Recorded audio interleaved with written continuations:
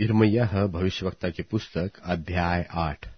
इरमैया भविष्यवक्ता की पुस्तक, अध्याय आठ। यहोवा की यह वाणी है कि उस समय यहूदा के राजाओं, हकीमों, याजकों और भविष्यवक्ताओं और यरूशलेम के और रहने वालों की हड्डियाँ कब्रों में से निकालकर सूर्य, चंद्रमा और आकाश के सारे गण के सामने फैलाई जाएगी, क्योंकि वे उन्हीं से प्रेम रखते। और उन्हीं की सेवा करते, और उन्हीं के पीछे चलते, और उन्हीं के पास जाया करते, और उन्हीं को दंडवत करते थे, और वे न तो इकट्ठी की जाएगी, और न कब्र में रखी जाएगी, वरन खाद के समान भूमि के ऊपर पड़ी रहेगी, और इस बुरे कुल में से जो लोग उन सब स्थानों में जिनमें मैं उनको हाँक दूँगा चले जाएँगे, तब जीवन से अधिक मृत्यु ही को चाहेंगे। सेनाओं के यहोवा की यही वाणी है। फिर तू उनसे यह भी कह कि यहोवा यो कहता है कि जब कोई गिरता है, तब क्या वह फिर नहीं उठता? जब कोई भटक जाता है, तब क्या वह लौट नहीं आता? फिर क्या कारण है कि ये यरूशलेमी लोग सदा अधिक दूर दूर भटकते जाते हैं? ये छल को नहीं छोड़ते और फिर लौटने से इनकार करते हैं। मैंने ध्यान देकर सुना, परंतु ये ठीक नहीं बोलते। इनमें से किसी ने अपनी बुराई से पछताकर नहीं कहा कि हाय, मैंने यह क्या किया है? जैसा घोड़ा लड़ाई में वेग से दौड़ता है, वैसे ही इनमें से एक एक जन अपनी दौड़ में दौड़ता है। आकाश का लगलग अपने नियत समयों को जानता है।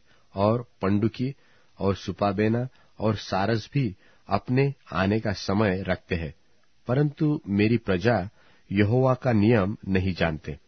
तुम क्यों कर कह रहे हो कि हम तो बुद्धिमान हैं और यहोवा की दी हुई व्यवस्था हमारे पास है। परंतु उनके शास्त्रियों ने उसका झूठा विवरण लिखकर उसको झूठा बना दिया है। बुद्धिमान लज्जित हो गए हैं। वे विस्मित हुए और पकड़े गए। देखो, उन्होंने यहोवा के वचन को निकम्मा जाना है। सो, बुद्धि उनमें कहा रही? इस कारण मैं उनकी स्त्रियों को दूसरे पुरुषों के और उनके खेत दूसरे अधिकारियों के वश में कर दूँगा, क्योंकि छोटे से लेकर बड़े तक वे सब के सब लालची है। और क्या भविष्यवक्ता, क्या याजक, वे सब के सब छल के काम करते हैं।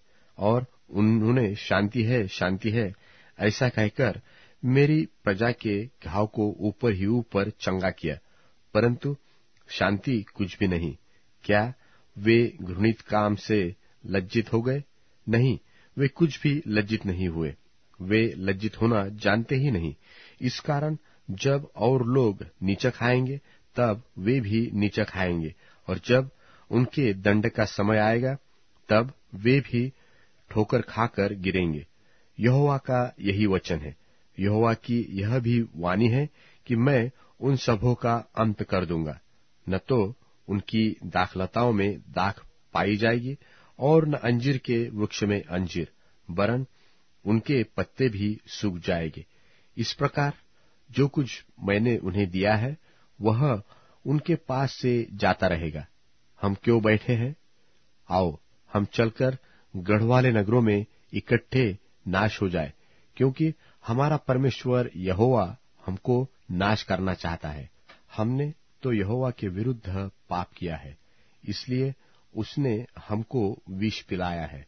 हम शांति की बाट तो जो होते थे, परंतु कुछ कल्याण नहीं मिला, और अच्छी दशा हो जाने की आशा करते तो थे, परंतु घबराना ही पड़ा है। घोड़ों का फुराना दान से सुन पड़ता है और उनके बलवंत घोड़े के हिनहिनाने के शब्द से सारा देश काप उठा और उन्होंने आकर हमारे देश को और जो कुछ उसमें है और हमारे नगरों को वासियों समेत नाश किया है। क्योंकि देखो, मैं तुम्हारे बीच में ऐसे सांप और नाग भेजूँगा जिन पर मंत्र न चलेगा और वे तुमको डसेंगे। यहोवा की यही वाणी है। हाय हाय, इस शोक की दशा में मुझे शांति कहाँ से मिलेगी?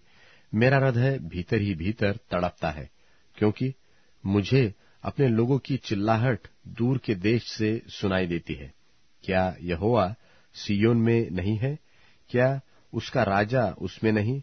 उन्होंने मुझको अपनी खोदी हुई मूर्तों और परदेश की व्यर्थ वस्तुओं के द्वारा क्यों क्रोध दिलाया है, कटनी का समय बीत गया। फल तोड़ने की ऋतु भी बीत गई और हमारा उद्धार नहीं हुआ और अपने लोगों के दुख से मैं भी दुखित हुआ। मैं शोक का पहरावा पहने अति अचंभे में डूबा हूँ। क्या गिला देश में कुछ बलसान की औषधि नहीं? क्या उसमें अब कोई वैद्य नहीं? यदि है तो मेरे लोगों के घाव क्यों चंगे नहीं हुए?